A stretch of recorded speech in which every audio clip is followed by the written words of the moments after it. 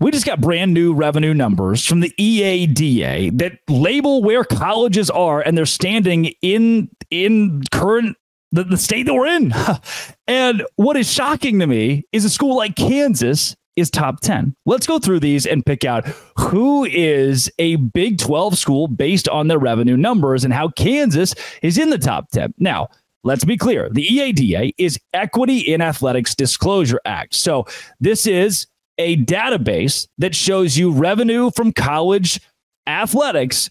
However, how much of it can we trust? Jeff Fuller is the one that posted this, and Jeff is spectacular at what he does, and none of his stuff would be misleading. This from EDA, though, sometimes includes what is given or donated to a school, and sometimes it doesn't. It just depends on what's reported. So part of this is a grain of salt. We can still get a good idea of the richer and the poorer of college football, mostly college football. That, in essence, is what inclu- it's what is included here because most teams don't make too much off of basketball. I mentioned Kansas; they are in the top ten with two hundred and six million dollars in grand total athletic revenue. Now, part of that as well, you can deduce that Kansas building a new stadium and the donations, the money that came into that fund could be included here, putting them in the top 10, leagues ahead of any other Big 12 team. The next time we get to a Big 12 team is Miami in number 24. Oh, did I say Miami? Oops, soon to be. Miami's at 24, Louisville's at 25. That's kind of where I want to go in the conversation. TCU sits at 29 right now at $149 million, and they're kind of lumped in with the Louisville, with the Miami, who are those mid 20s. Um, kind of crazy.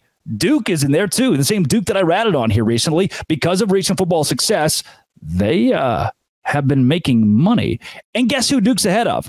Per the EADA, once again, the Equity in Athletics Disclosure Act, they're ahead of Clemson. Duke at $153 million in total athletic revenue, Clemson at 152. We take you to the 30s, where UNC is behind Arizona, where Baylor is ahead of Ole Miss and Pitt, Minnesota, and Colorado. That's all good and dandy. Here's where things get a little dicey as we get into the 40, I, I hope you'll realize at this point, I haven't said a lot of Big 12 teams. You get to the 40s and the 50s, that's where you find a good portion of our guys, like Arizona State, who is currently sitting at 45.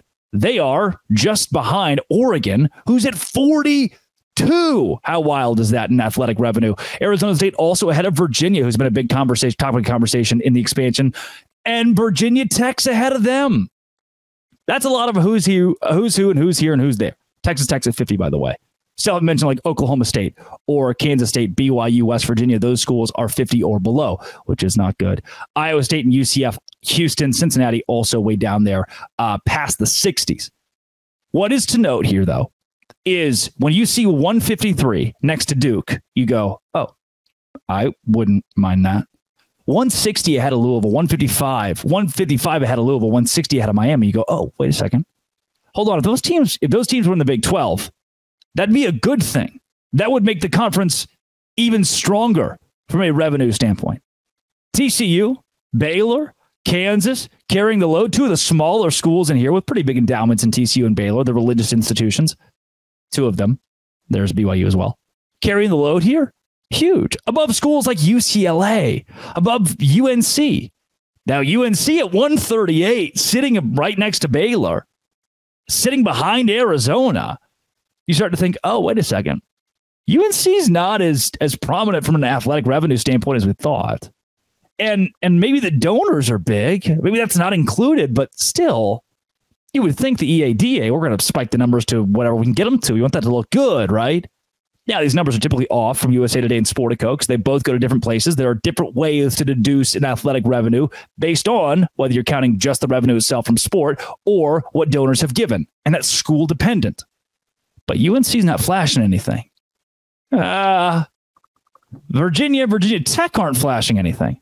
Wait a second. Uh, you've heard on this show that Virginia might be a lock for the SEC. They might have the footprint for the SEC. Maybe they do, but they're behind Virginia Tech. Yeah, they give you a new footprint in that conference, but are they really an SEC school? Vanderbilt sitting at 125. They're in the mid 40s here.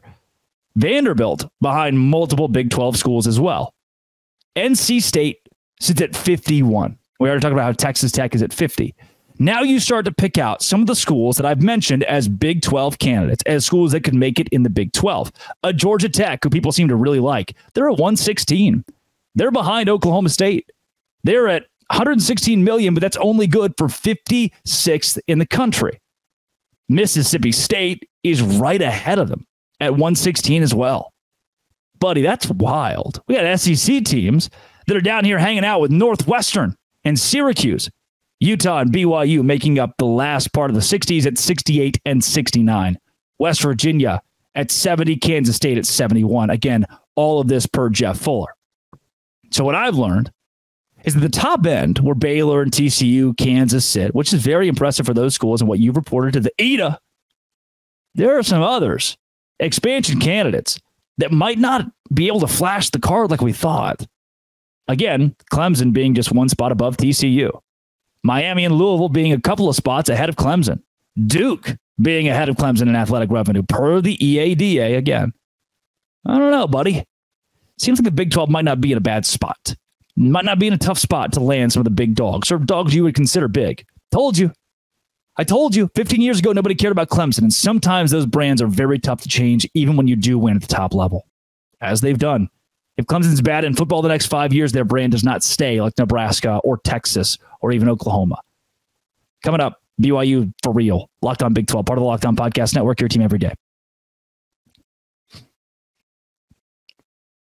Today's show is brought to you by Game Time. Game Time is where I go to buy tickets, last minute tickets. I wanted to go see Billy Strings. My friend William came to Enmarket here in Savannah, Georgia, where I live and work for the Bananas and Party Animals.